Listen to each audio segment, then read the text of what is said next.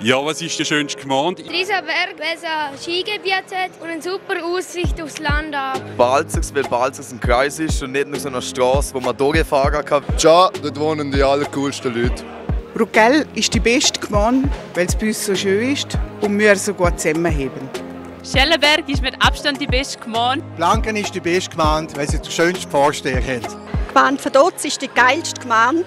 Im Bergtoppen gibt es Oberprofotschenk und eins ist der schönste Ort auf der Welt. Grand Prix ist die beste Gemeinde, es hat einen Haufen gute Vereine und es ist sehr familienfreundlich. Schaan ist unsere Lieblingsgemeinde, weil praktisch, zentral, Und schön sympathisch. Und sympathisch.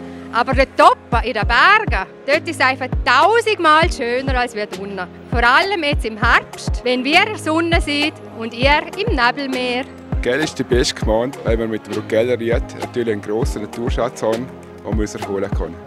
Ich liebe meine Gemeinde Triesenberg, denn ich habe so viele Freunde die letzten Jahre da gefunden und einfach nur toll. Tolle Leute, alles zentral am Platz. Ich liebe Triesenberg. Ich könnte fast schon sagen, nicht I love Malle, sondern I love Triesenberg. Ich finde es schade die beste Gemeinde, weil es einfach am schönsten da ist und wir den besten Vorsteher haben.